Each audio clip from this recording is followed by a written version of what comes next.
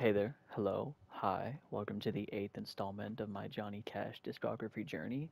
Today we're going to be going through his eighth studio album, The Sound of Johnny Cash.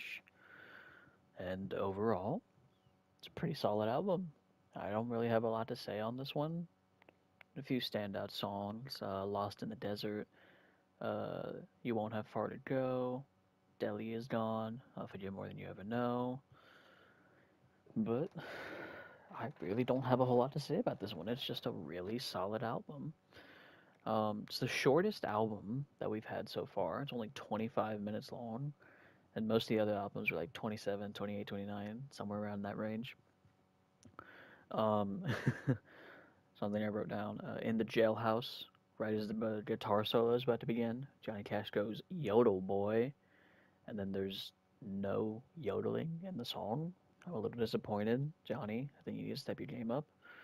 Um, a lot of these songs, I, I've said this before, but like Johnny Cash really just gives me Fallout Radio vibes. It's a crime that he has not had any of his songs on a Fallout Radio yet. There is the cover Ring of Fire, but I'm not gonna count that because that's not actually Johnny Cash singing. So, nana nana poo poo on you.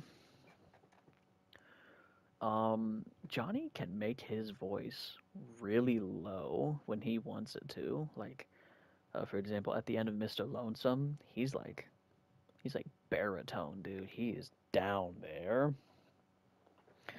And then, uh, once again, I have to give a shout out to Floyd Cramer and his fucking magic piano, dude. Oh my god, I forgot more than you'll ever know. What a beautiful song, dude. Floyd Cramer, fucking.